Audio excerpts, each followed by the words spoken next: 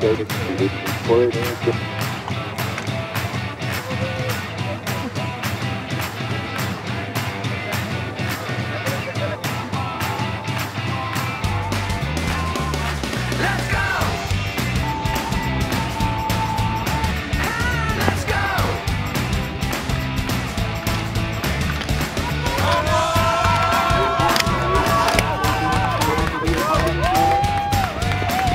Arbeiter haben echt guten Job geleistet, weil da war echt eisig eigentlich wieder und kompakt.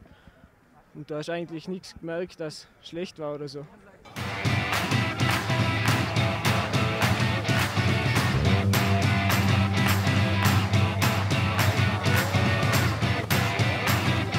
leider einen Fahrfehler gemacht und das war meine Schuld und ja, aber es war bis dahin eine gute Fahrt.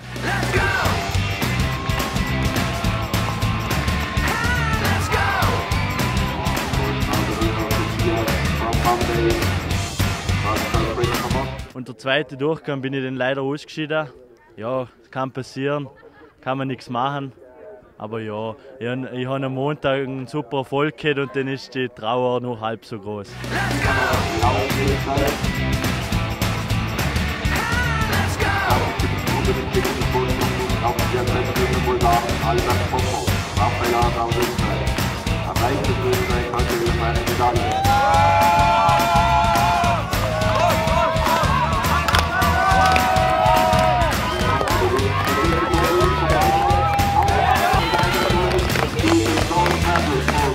Ja, ich habe gewusst, ich muss mein Bestes geben und alles zeigen, damit es bis ganz nach oben reicht und das ist mir ganz gut gelungen, glaube ich.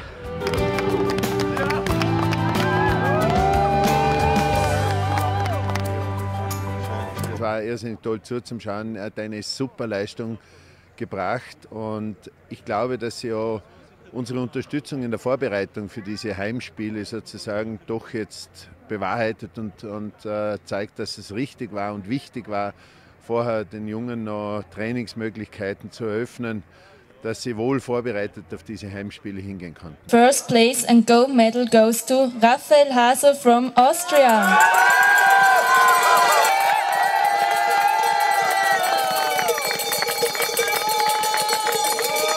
Und spitze, dass die Österreicher wieder Gold gemacht haben. Dadurch, dass wir ja die gemeinsame hineingelaufen sind die, im Team, ist es auch immer ein bisschen unsere Goldmedaille. Erstens möchte ich einmal dem österreichischen Team recht herzlich gratulieren. Zwei Goldmedaillen da im Liechtenstein freut uns riesig. Auch das Österreich mit Liechtenstein da wieder zusammen. Ganz ein tolles Gefühl, ganz eine tolle Stimmung.